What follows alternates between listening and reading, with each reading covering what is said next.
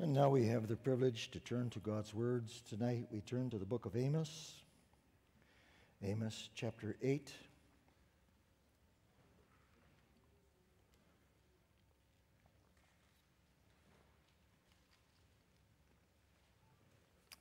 Amos chapter 8.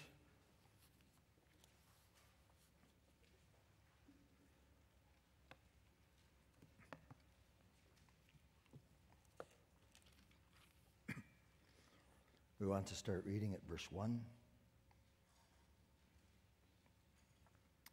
Amos 8, verse 1.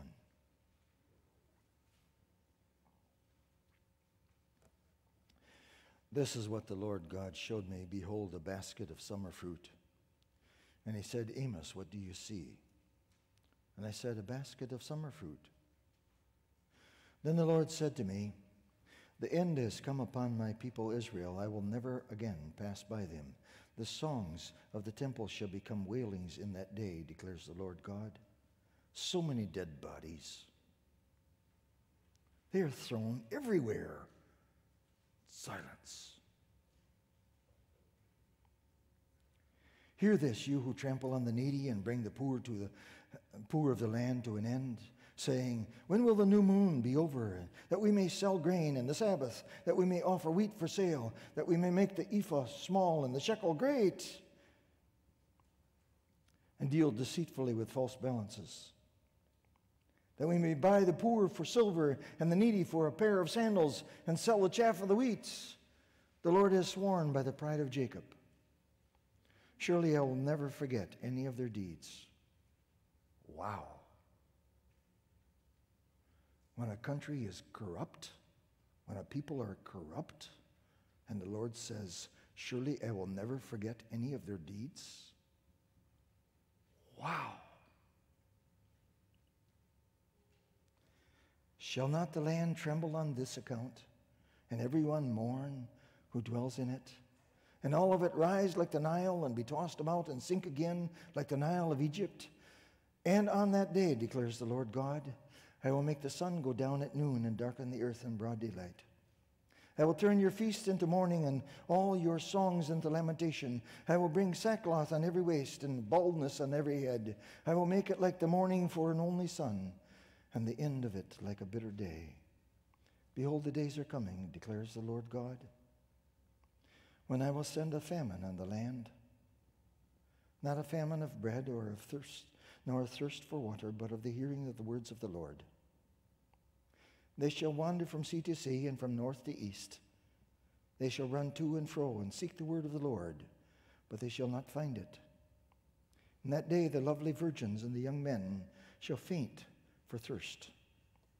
Those who swear by the guilt of Samaria and say, As your God lives, O Dan, and as the way of Beersheba lives, they shall fall and never rise again. Our text comes tonight from verse 11. Behold, the days are coming, declares the Lord God, when I will send a famine on the land, not a famine of bread or of thirst for water, but of hearing the words of the Lord. New fellow Christians, we have entered a strange time. It has been a strange year.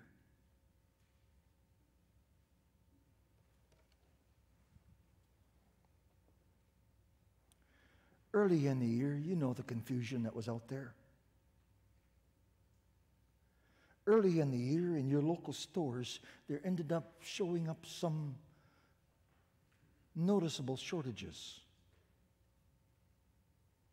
There was a time period where you could hardly buy toilet paper.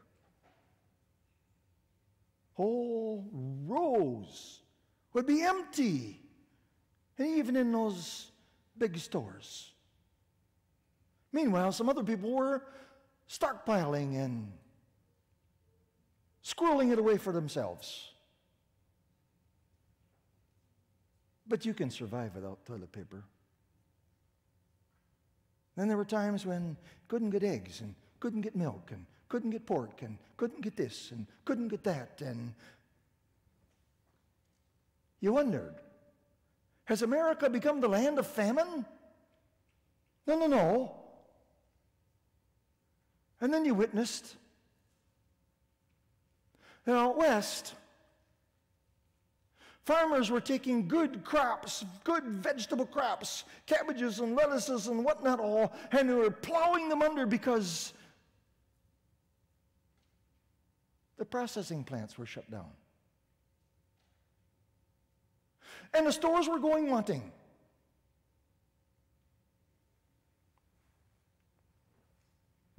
Dairy farmers.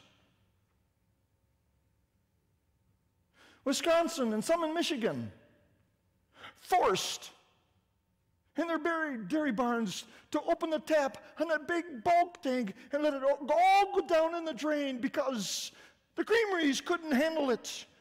They were stockpiled full, and none of it was getting to the stores. Having connections with some of those folks out west. I saw pictures as they sent them to me of hogs that had been shot. Piles and piles and piles, 30 feet high and 60, 70 feet long, waiting for the bulldozer because those hogs could not go to market. The processing plants were shut down because of a virus. And when those hogs get up over 325 pounds, the machines in the factories, never mind the people, the machines cannot handle a carcass that big. And the farmers had no choice but to shoot them. While other people couldn't get any meat. And from the South Dakota farmers that we have corresponded with saw pictures of baby pigs. They kill them they don't even wait. Why waste the food?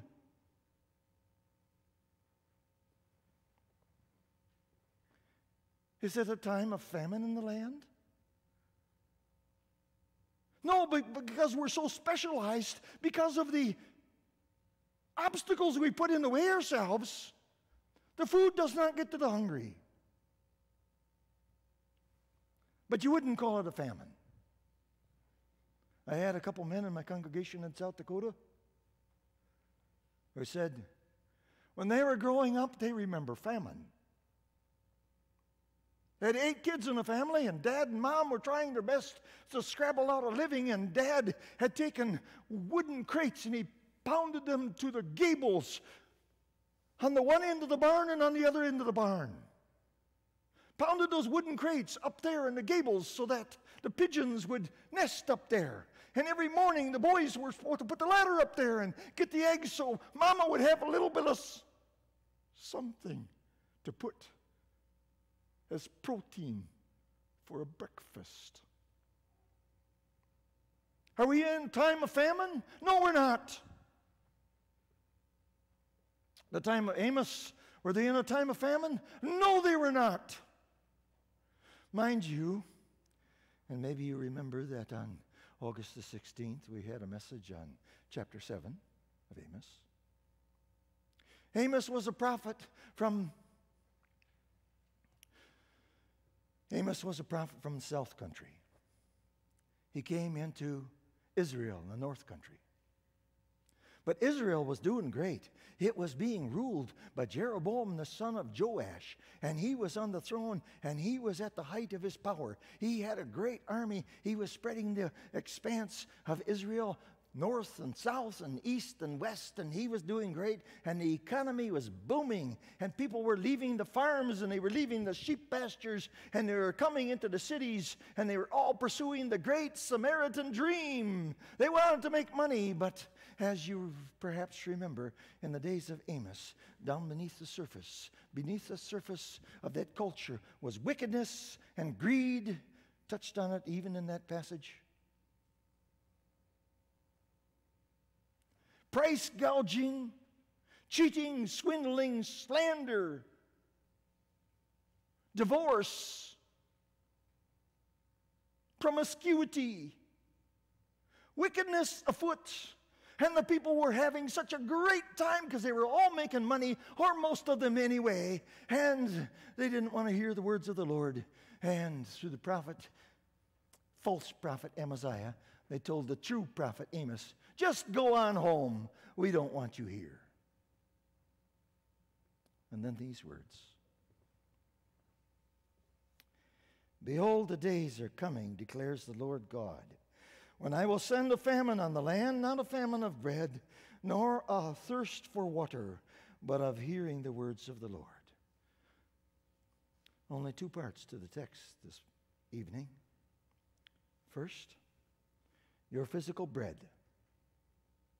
And second, your spiritual food.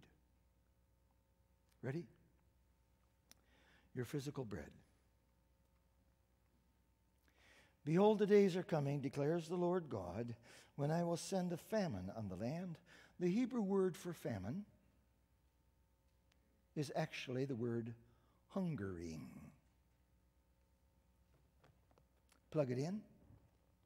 The Lord says, I will send a hungering on the land. Do you have any hungering? Think now for a moment. What might be in your refrigerator at home? Is it bare or there's some nice things there? What might be in the freezer at home? What might be in the cupboard?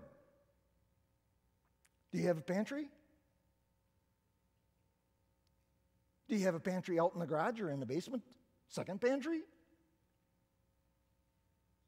Is there anyone here that thinks that they're going to go hungry tonight? Is there anyone in America that's going to go hungry? Why, if you don't have food, and if you don't have a paycheck, and if you don't have unemployment, at least you can go to some soup kitchen or you can file for food stamps and go on welfare. Is there anyone hungry in America? We got the opposite problem. There's so much food around, you and I don't know how to use it all. How often does food go into the garbage or into the compost or donated to the domestic animals? Some moms have problems feeding their families because Sonny boy doesn't like this, and little girl doesn't like that. And they don't like this vegetable, and they don't like that vegetable, and they don't like raisins, and they don't like. Meanwhile, in America, you can even have fussy domestic animals so that you got to buy premium dog food and gourmet cat food. We know nothing of a famine of that sort, do we? Back to the text. Catch the words on the land. I will send a famine on the land. That's different than a famine in your house. Because if you have a famine in your house, you can go to the neighbors at least and borrow a dozen eggs or a gallon of milk or some bread, right? Your neighbors are nice folk, aren't they? And if you have a famine in one locale, at least you can go to another locale. And if your local grocery stores here don't, well, then you just go to another grocery store, right? But this does not say uh, famine in the house or famine in the district, but it says a famine in the land. Folks, you and I do not know what that is.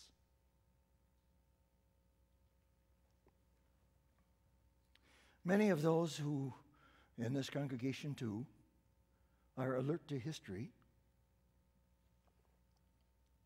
you know that during World War II, the Third Reich and that machine, that machine that Germany put together, was pushing west, west, west across Netherlands and Belgium and France, all the way to the English Channel but it was also pushing east. It pushed east across Poland, across Belarus and Ukraine, all the way to Russia. What happened? It got as far into Russia as up to Moscow, and in the north, up to Leningrad or St. Petersburg. And then what happened? God brought in the Russian winter and stopped the Germans. They never did conquer Moscow. They tried and tried and tried to conquer Leningrad. They even bombed Lake Ladoga, where they were bringing trucks across the ice in the winter to feed the people in the town.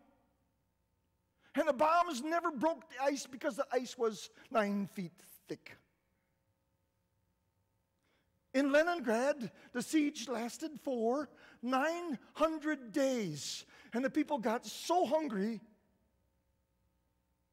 they started to eat the dead and to eat sawdust pancakes. I guess that's what you would call a diet of high fiber and low protein.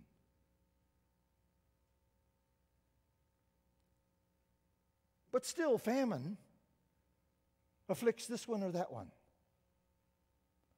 When I was in Ukraine, and your pastor CJ was there numerous times, same town. Donetsk, a city of two million people. I remember it was a November Saturday, just before we were wrapping up classes.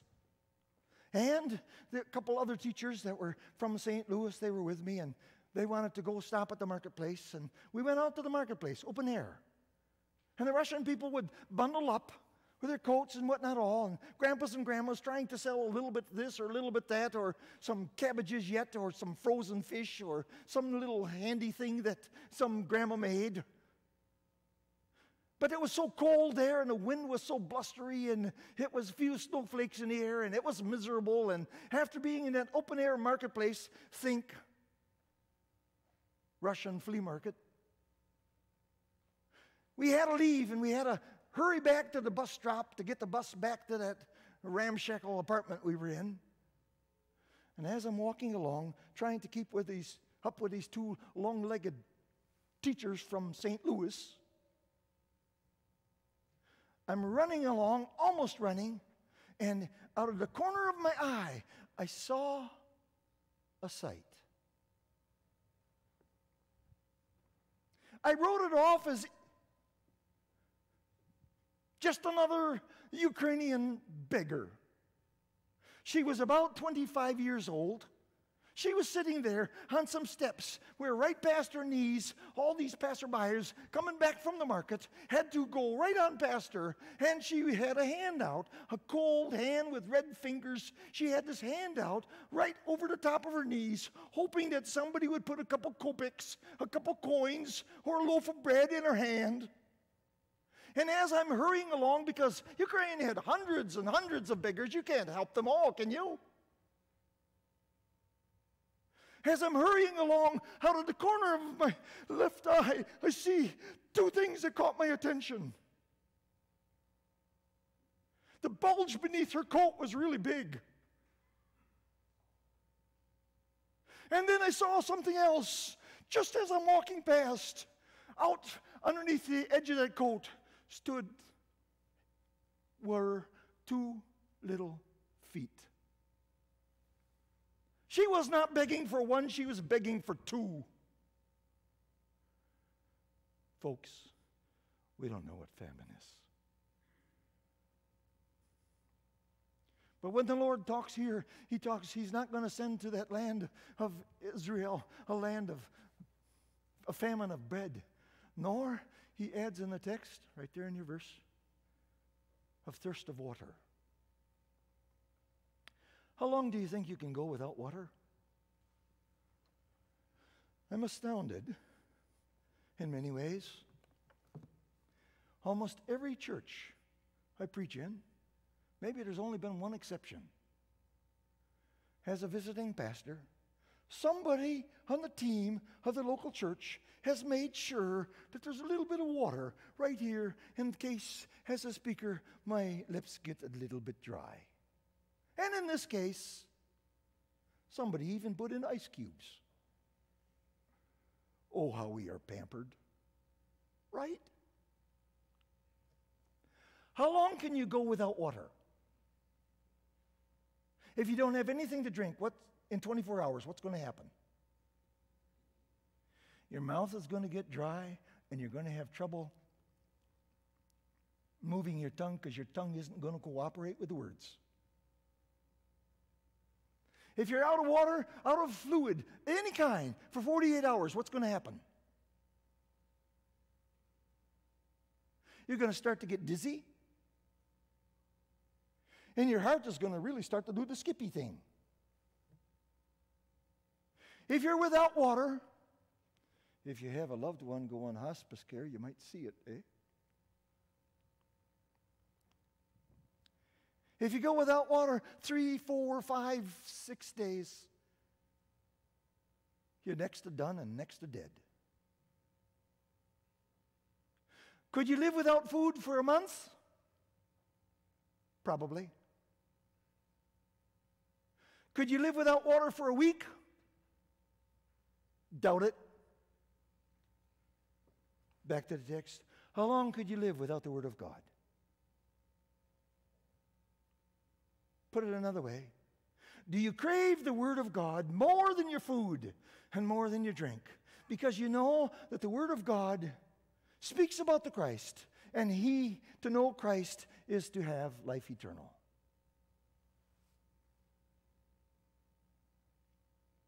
Physical food, you can do without it. Spiritual food, point two, no, you can't. What does the Lord say here? Not a famine of bread, nor a thirst for water, but of hearing the words of the Lord. But what happens, dear friends? What happens when there's no hunger for that word? Does that affliction have anything to do with what's going on in America today?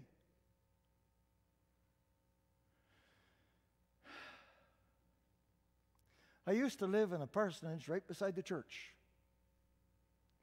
And I did not witness some of the other stuff that was going on on Sundays to get from home to church.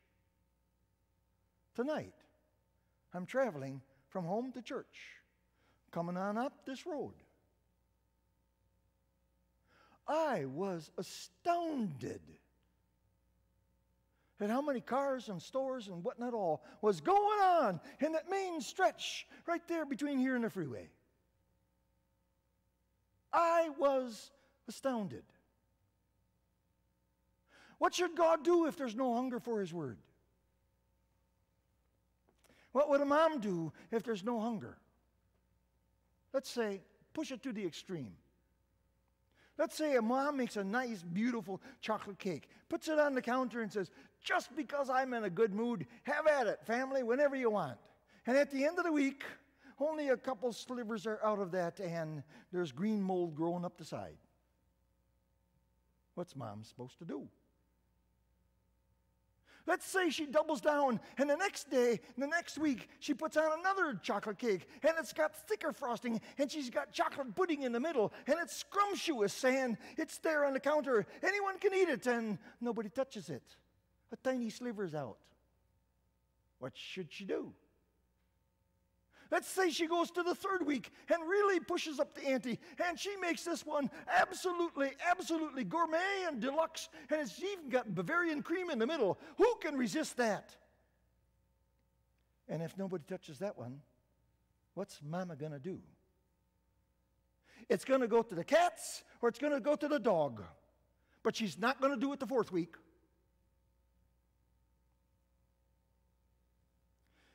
What does God do? When people don't want His word. He takes it away. Simple. Prodigal son, you know that story? Luke chapter 15. That prodigal son, acting like a spoiled brat, demanded of his dad, I want my inheritance early. So, dad, dad complied and he divided the inheritance. Never mind, that was part of dad's pension. That was dad's old age fund. He divided that inheritance. He gave that youngest son his part of the inheritance. And he promptly went off to a wild city with wild living and wild parties and wild women and wild lifestyle. And soon the inheritance was gone. Then he realized what he used to have after it was gone. How many people in the world realize what they have lost after it is gone?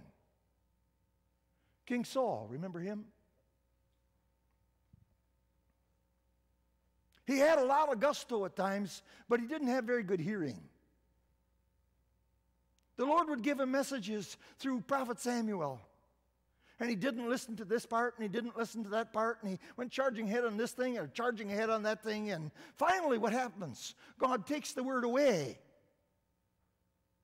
And at the end of his life, King Saul is so desperate for a word of, of, of, of, direction from the spiritual world, he even went to the witch of Endor to ask for the ghost of Samuel to tell him something. What happens when the word of God is rejected? God takes it away. What happened when the prophet Amos is sent to Samaria. Chapter 7, verse 12, if you want to look it up. The false prophet Amaziah says, Flee away, flee away to that south country, go back home. We don't want you here and your word of the Lord. What happened? Amos went home. What happened? Prosperity continued for another 32 years. They were making great money, they were making great strides. Wickedness was everywhere, but they were having fun at it.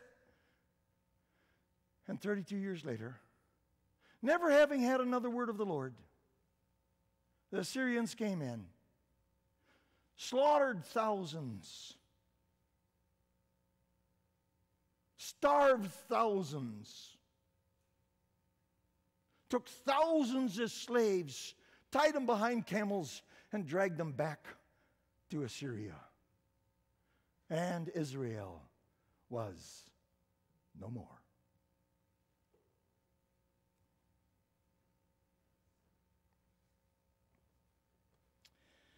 Not a famine of bread, nor of thirst of water, but of hearing the words of the Lord.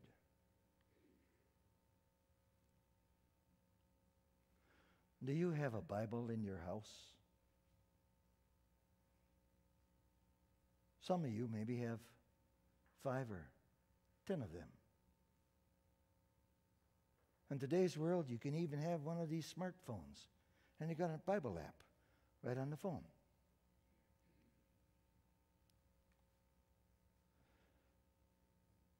But what good does it do if you've got five, ten Bibles in the house unless you're using it. And what good does it do to have a Bible app on your phone if every other app seems to catch attention first? And then, and then we are in a weird world, aren't we? It's a strange world, wouldn't you think? trying to comply with the government's wishes in this regard or that regard. Some churches have even gone to the point where they take the Bibles out of the pews and the hymn books out of the pews, lest, lest some little COVID virus be attached to the Bible and jump off the page at some other worshiper a week later. Never mind, check it out medically, that's impossible.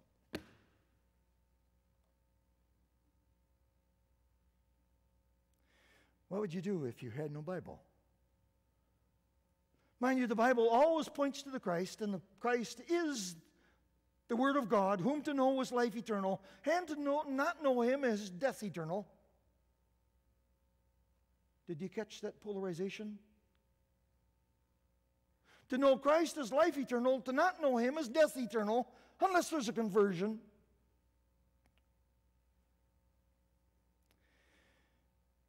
Not a famine of bread, nor of thirst of water, but of the hearing the words of the Lord.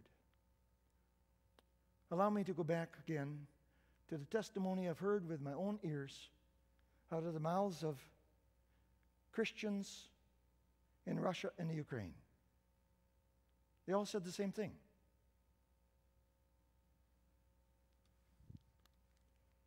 When in 1917, the socialist slash communist policies under Vladimir Lenin took hold, what were the first things that took place?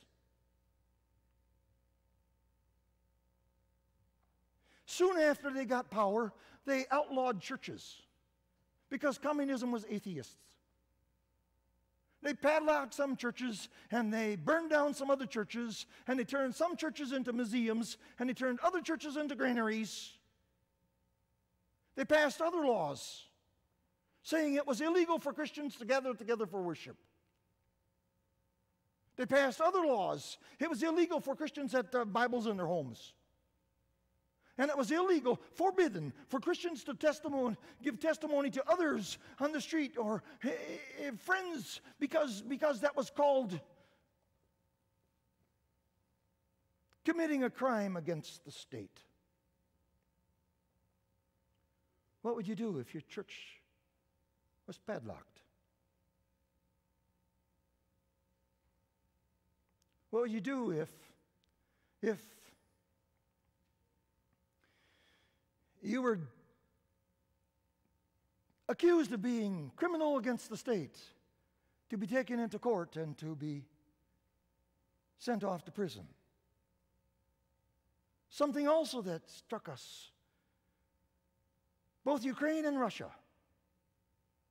and that is the extensive reach of the gulags under Stalin and Khrushchev. Something like over 224 of them. Prison camps. I would like to relay to you a vision I had, a scene I saw in the city of Tyumen. 1,100 miles east of Moscow, in Siberia. Knowing, of course, that Tyumen is on that that east west Siberian Railroad. There's a bridge, a pedestrian, pedestrian walk bridge over the top of that railroad station. And that railroad station at that point has 10 or 12 or 14 tracks, I don't remember how many. And as my wife and I stood on that bridge, in the center of Tyumen. We could envision for ourselves looking to the west 1100 miles and all of the christians that went in cattle cars over those miles and under the bridge onto the gulags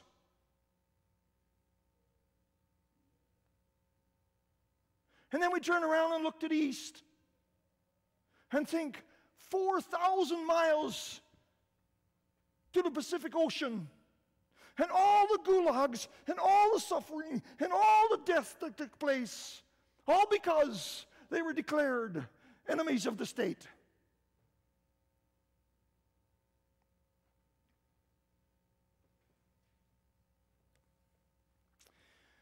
We are in a strange world. For a while this summer, and I say this gently, but you know it's the truth. For a while this summer, you could go to a Walmart, you could go to a Meijers, you could go to a Lowe's, but only certain aisles. You could go to a Home Depot, but only certain aisles. You could go to the liquor store because you had to stock up. You could go to the marijuana store because that was uh, deemed essential. And you could go to the abortion clinic because, because that was declared essential for life. But in at the same time period, many of the churches were closed down by force, and schools and whatnot all. And some states would like to see churches remain closed. Folks, we are in a strange world. And there's a form of famine in the land. Back to the text. Not a famine of bread or a thirst of water, but of hearing the words of the Lord. So the question is how much do you crave God's word? How much do you love the bread of life? How much do you yearn to drink daily from the water of life?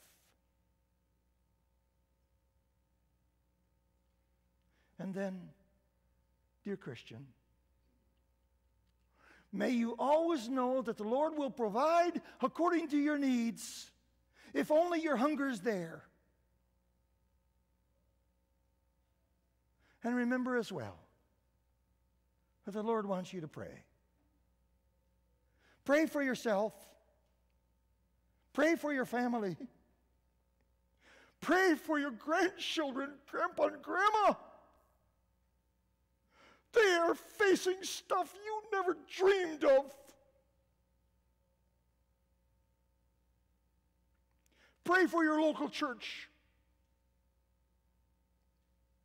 Pray for your state. Pray for your country. Pray for your world, even when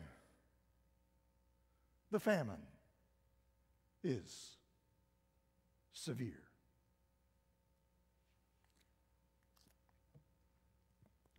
It's time to pray, folks.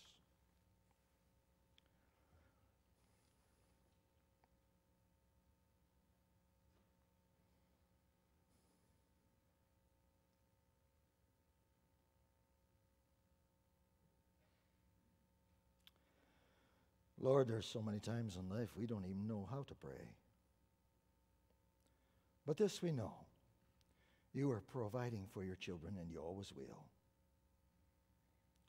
Strengthen every single one here.